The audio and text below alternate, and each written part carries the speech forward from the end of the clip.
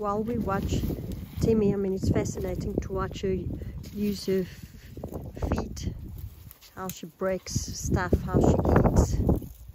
But she's also an orphan that came from Umbabat.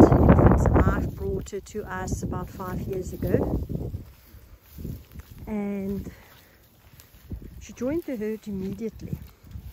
She was supposed to be on milk. Um, think the age wasn't correct. Uh, you know, they thought she's a little bit older. So once she joined the herd, it was much younger than you usually, you know, uh, have an elephant not on milk. But because she then joined the, the herd, she didn't want to take a bottle. So what we've done is we actually gave her milk in a bucket. Mixed that with pellets, game pellets. That's got a lot of nutrition in.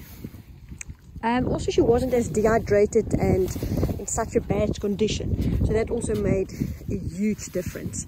I think Elephants Alive were lucky enough to find her um, or to, you know, to got the call and been told off to Misa before she lost uh, too much um, weight and condition. So that also played a huge role that her condition wasn't as bad as um, that, you know, some of the other elephants that arrived. But she joined the herd. Funny enough, Fishan was the one that looked after Timmy. He was very protective of her. Um, from the start go, she spent a lot of time with him as well. But the first day we actually ran. She, Timisa in front. I think we covered most of the, the reserve and the herd behind. Um, she'd stop and she'll drink uh, I've tried to drink and suckle from Tokwe but that night of the second night the first night she was actually sleeping in the Lucerne shed. She came in quite late. And then the, the first morning we introduced her to the herd. So you know we really ran covered the whole reserve. I think she was you know maybe looking for a family but also, you know, getting to know the new family. That night, she slept in the stables with uh, and all of them. Still a little bit unsettled, but she settled in quite, quite well. And then the next challenge was, um, you know, to, to make sure that she gets sufficient nutrition. Um, as she was still milk dependent, not taking milk, must just remember she was still wild, didn't trust any humans, and we had to build her trust and a relationship with her. So she took on the bucket with the pellets and the milk, and that she got actually more milk than we usually give to um, orphans at a time. And we also weighed her frequently. She gained um, weight.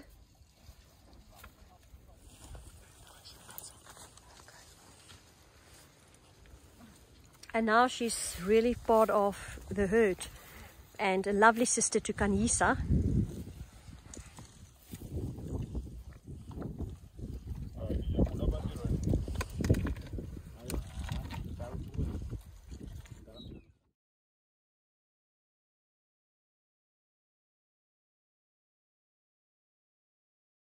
We're winning. Can I some fucking try? Yeah. Let's let's let's try and and, and Pull that back. Yeah.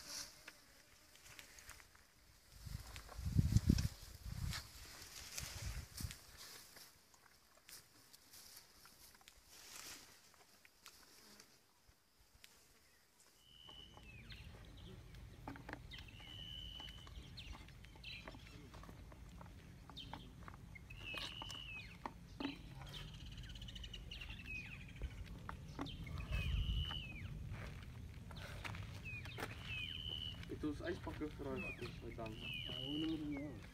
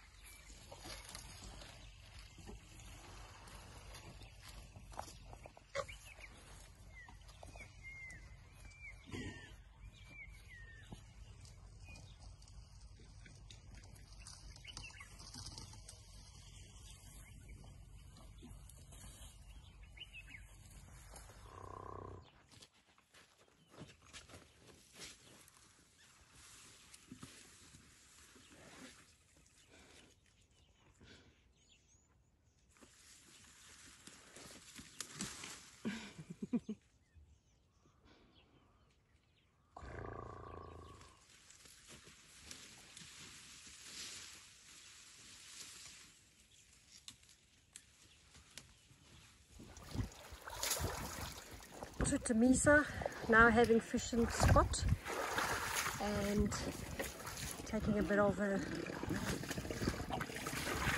a mud bath.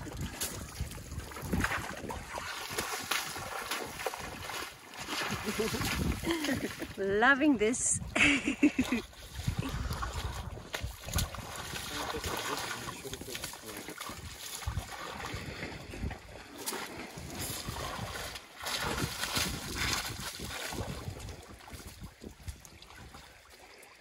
much fun can this be now? On such a hot day. Misa's taking full advantage now of this little mud hole.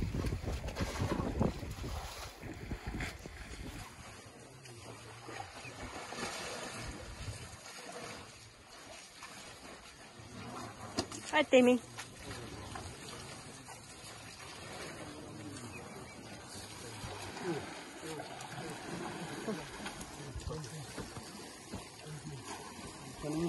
How are you, Stavros? Good. That's all.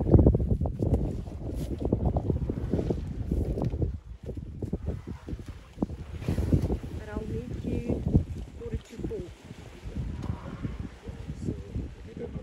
Yes. If they need to go, you can take them.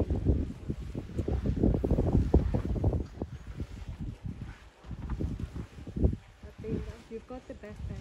Ja.